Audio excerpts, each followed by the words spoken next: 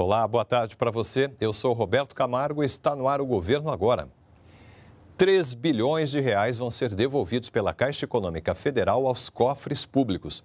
Essa é a primeira vez na história do banco que isso acontece. E o dinheiro não pode ser usado como receita para outros tipos de gastos. Ele vai servir é para reduzir a dívida pública brasileira. Durante a campanha dissemos que íamos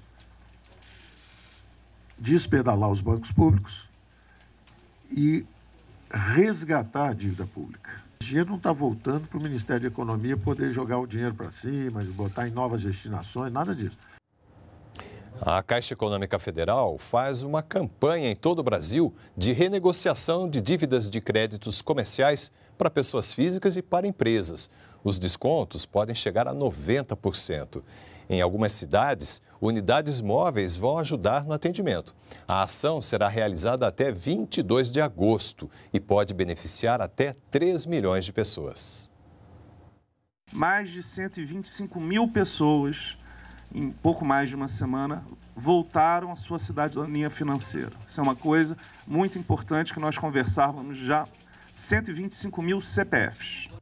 Os clientes interessados em renegociar as dívidas também podem receber atendimento por meio do site da Caixa, por telefone pelo 0800 726 8068 ou pelas redes sociais da Caixa, no Facebook e no Twitter. O assunto agora é segurança pública. O Brasil registrou queda de 23% no número de homicídios no primeiro bimestre deste ano. Nós vamos então, ao vivo ao Palácio do Planalto, conversar com a repórter Daniele Popov, que tem as informações para a gente. Oi, Daniele, boa tarde para você.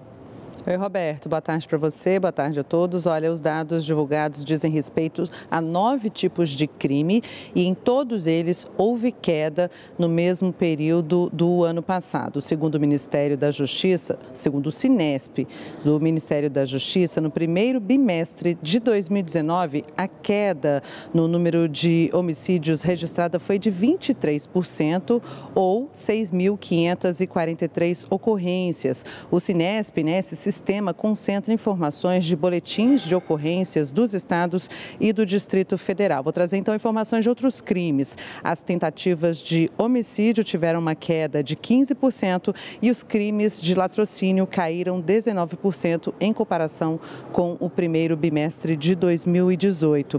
O motivo para essa, para essa queda, segundo o governo federal, é a atuação conjunta entre os governos locais e o governo federal. Outros crimes que também apresentaram redução foram roubo de carga, de veículo e também roubo à instituição financeira. Roberto, eu volto com você. Tá certo, Dani. Muito obrigado pelas informações. E nós ficamos por aqui, mas você pode acompanhar a gente também pelas redes sociais. Uma ótima tarde e continue com a programação da TV Brasil.